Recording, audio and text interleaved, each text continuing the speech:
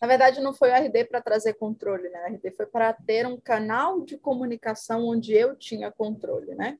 O controle, na verdade, eu não tinha, estava tudo descontrolado. Quando eu cheguei na EAG, menina, você não tem noção. Aline, eu saí de lá. Tanto que todos os meus melhores amigos fazem EAG e já fizeram EAG. Eu, eu lembro até de uma vez que tinha um amigo meu que ele falou assim: Eu não vou fazer esse EAG, não. Esse EAG é coisa de coach, eu não vou lá.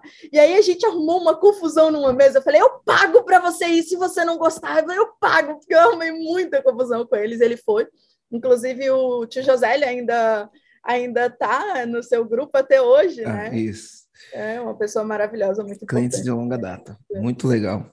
Eu acredito muito. Mas, enfim, aí eu cheguei lá né, no, no, no EAG e, nossa, eu descobri que eu não tinha nada.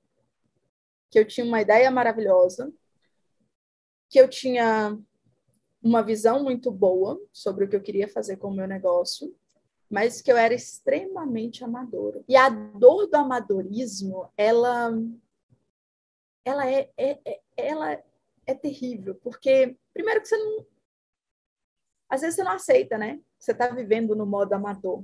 Você está lidando com o negócio de maneira amadora. Que você está colocando.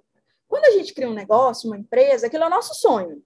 Então a gente dedica um monte de hora, a gente dedica um monte de energia, a gente quer fazer um monte de coisas. E nisso tudo, no meu caso, que empreendi por necessidade, eu sei que tem um monte de gente que empreende por oportunidade, mas no meu caso era muita necessidade, aquilo tinha que dar certo de uma maneira ou de outra. Então, descobrir que eu estava muito amadora foi muito difícil.